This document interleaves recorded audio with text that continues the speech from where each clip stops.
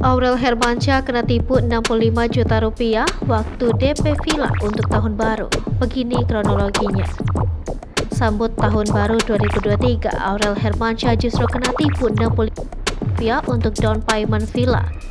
Beberapa hari lagi adalah pergantian tahun 2022 ke 2023. Banyak orang yang mempersiapkan tahun baru termasuk Aurel Hermansyah.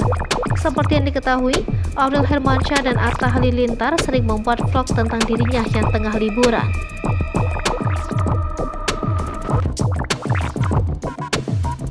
Bahkan mereka tak jarang memamerkan liburannya baik di Indonesia maupun luar negeri.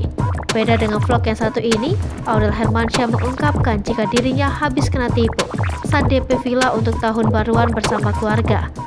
Bali menjadi salah satu tujuan keluarga Atta menghabiskan tahun 2022. Awalnya baik Atta maupun Aurel sempat tak mau cerita terkait penipuan ini. Namun keduanya takut jika kejadian ini juga akan terjadi di orang lain.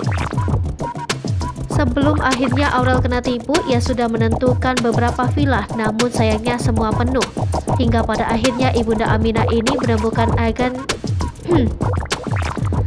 Hingga pada akhirnya Ibunda Aminah ini menemukan agen yang ternyata menipunya. Saat itu Aurel dan Atta tertipu oleh agen yang menawarkan villa di Bali. Karena saat itu Atta berniat akan mengajak seluruh karyawan untuk merayakan tahun baru bersama di Bali. Aurel juga mengungkapkan jika dirinya memang sempat curiga dengan agen yang menawarkan villa tersebut. Menurut Aurel, harga yang ditawarkan tak masuk logika lantaran murah. Istri Atta ini mengatakan jika dirinya sudah memiliki feeling buruk dengan villa yang telah ia bayar.